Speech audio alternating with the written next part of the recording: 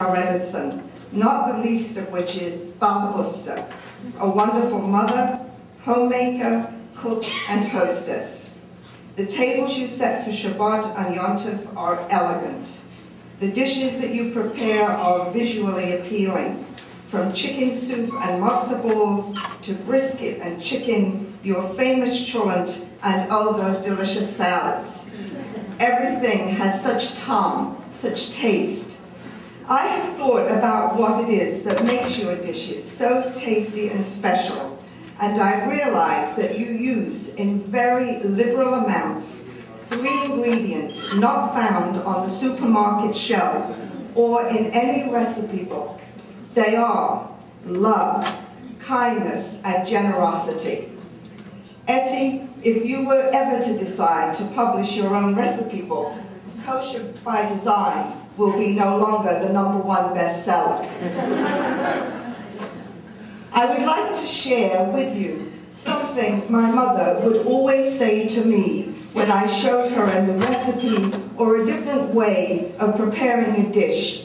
You know, she would say, looking at me, the hen can learn from the chicken. This hen has learned a lot from you. Thank you, dear Ettie. May Hashem bless you with many, many more years of being our Balabusta extraordinaire.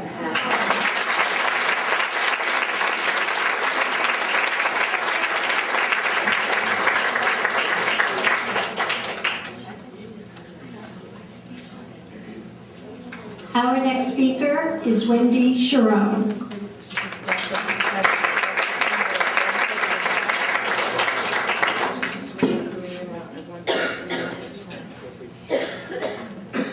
Hello. It is my honor to speak to you tonight. Of all the different roles that Ettie plays in our community, the one that I see the most is her role as a mother. As a mother of three boys, I am fortunate to stay at home with them. Sometimes, or more honestly, a lot of the times, it is very overwhelming. Just this morning, my oldest son Joshua and I had a conversation after an incident this weekend of him stepping all over belongings in the car and after several warnings me raising my voice. He said to me that Ettie never raises her voice. so I called Ettie to ask her how she's able to do this. Happily, she told me what she expects of them and what, she and what they will expect of her and the point system they use, with consistency being the key. I can't wait to implement, ugh, to implement this. I am always in awe of how Ettie, with three young children and an infant, effortlessly does it all. Mother, wife, Rebbetzin, teacher, leader, friend, the list goes on. When Rabbi and Ettie first moved to Naples, Mendel was about five months old, and I was pregnant with my second son. I remember the first night I met them, they had invited me to Shabbat dinner at their rented home on Park Shore. Not knowing how to act around an Orthodox rabbi and his wife, I begged my friend Kim Jaffe to come with me, since my husband was out of town. It didn't take me long to warm up to such a friendly couple and loving mom as she played with Mendel and talked to me about the baby on the way. As time went by and they settled into their new home, Yitzi came along and Mendel started school with my sons Joshua and Jake. I was always amazed at how Ettie was able to look so put together at the bus stop first thing in the morning while I was still in my sweats and uncombed hair. Over the next few years, with the help of a generous donation of a school bus, we were able to send Mendel, Yitzi, Josh, and Jake to Hebrew School in Fort Myers. Even with the drive, maybe even longer during the season, Ettie was always there for every teacher conference, performance, and science fair, supporting her boys along with Baby Haya. As good as things sometimes come to an end, in our little school bus, it had its last day. A couple of months before school year ends, Ettie, along with Haya Mushka, drove the boys to school every morning. Devoted mom as she is, Ettie and Haya drove the boys every morning for most of the next school year, looking put together and beautiful at 8 a.m. this, this school year, Ettie and I decided to keep the boys here in Naples to be closer to us and started our Jewish day school from scratch. Ettie organized and is responsible for Hebrew teachers who spends the entire day with the boys, along with helping her with Shabbat children's services, Sunday Hebrew School, and other exciting programs. As our school year started, Rabbi and Ettie welcomed the newest addition to their family, Kinda. Ettie was telling me how now they have a boys crew and a girls crew in the family. I can't wait to have the girls crew join our growing school. I have enjoyed being able to share with you my thoughts and experiences about Ettie. Thank you.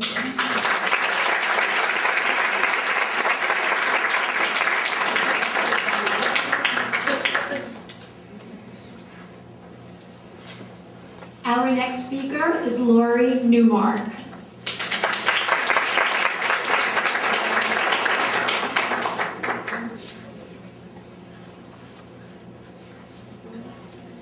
Good evening, everyone. It's an honor, Ettie. Absolutely. It's funny, but I actually met Ettie a year ago from the Camp Gan Izzy when we had to go and check it out and see if that was something we'd be interested in doing. Little did I know, one year later, I'd be in your kitchen. This summer, I had the privilege of cooking in Ettie's kitchen for an entire month, every single day, five days a week. Not only cooking for the family, but for the 12 counselors that came as residents to live. Through this experience, I had a life-changing experience. It was amazing. What was so great about this was watching the love that she gave, not only to her own family, but to the 12 counselors who she became a surrogate mother to. Watching her, no matter what was going on, she was able to manage it all. It was easy and loving and happy and beautiful, and her home was calm. And there were lots of kids running around, but she was calm in the midst of all of it. I was so blown away by being in this home with more than love. It was peaceful. It was joyous. Everything was so exciting.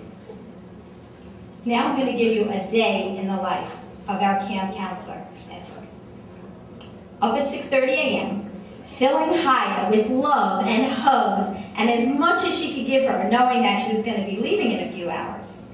Gets the boys dressed for camp, Of course, always looks impeccable as well. That is what she said.